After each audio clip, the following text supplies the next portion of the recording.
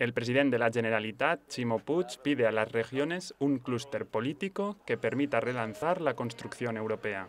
El jefe del Consejo ha participado en la sesión de apertura de la segunda edición de la conferencia europea Grow Your Region, que se celebra en Valencia durante los días 8 y 9 de noviembre. Según Puig, cuando los países transfieren soberanía a la Unión, las regiones y las ciudades adquieren mayor protagonismo territorial. Las regiones tenemos la ventaja de la cercanía, de la proximidad para impulsar los cambios a nivel microeconómico. Y en este ámbito micro, los gobiernos regionales podemos colaborar eficazmente con las empresas, con los centros de investigación, con los diversos agentes sociales. Esas políticas, cuando se ejecutan por regiones, posibilitan ajustar las políticas a medida de cada espacio geográfico y eso nos permite mayores probabilidades de éxito.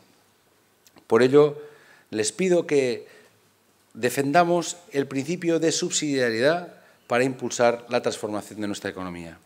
Para el responsable del Ejecutivo valenciano, las regiones son la base para el futuro de Europa y en esa línea ha enumerado los avances en I+D en la comunidad valenciana. Según el último informe sobre innovación regional elaborado por la Unión Europea, la Comunidad Valenciana es la segunda autonomía que más ha mejorado su índice de innovación.